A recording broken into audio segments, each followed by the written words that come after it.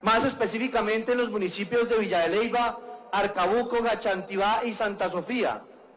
Y todo esto a razón de dos empresas mineras que extraen arcilla y vienen contaminando las aguas de los ríos Pómica, Quebrada la Periquera y Río La Cebada.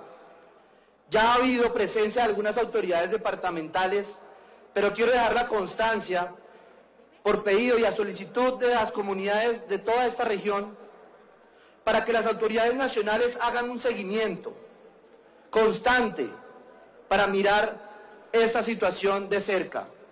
Ha habido falta y ausencia de todas las autoridades ambientales y autoridades mineras nacionales. Solo por dato curioso, en Villa en 14 años, en los últimos 14 años, se han otorgado 14 títulos mineros y 4 licencias ambientales. Son bastantes licencias para un municipio tan pequeño y esta es la consecuencia que nos está arrojando en los últimos días. Gracias, presidente.